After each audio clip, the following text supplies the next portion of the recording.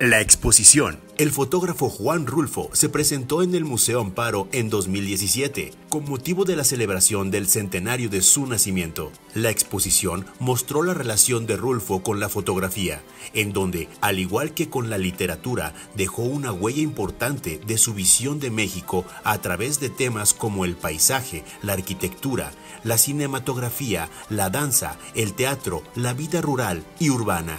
Juan Rulfo nació el 16 de mayo de 1927 en Jalisco. Novelista, cuentista, fotógrafo y editor. A Rulfo se le reconoce sobre todo por su volumen de cuentos El Llano en Llamas, 1953, y su primera novela Pedro Páramo, 1955. A partir de la aparición de estos títulos, mantuvo un contacto frecuente con el cine. Su segunda novela, el Gallo de Oro 1958, el cortometraje El Despojo 1959 y su participación en el filme La Fórmula Secreta 1964 son producto de ello. Te invitamos a conocer más de Juan Rulfo en nuestra página www.museoamparo.com.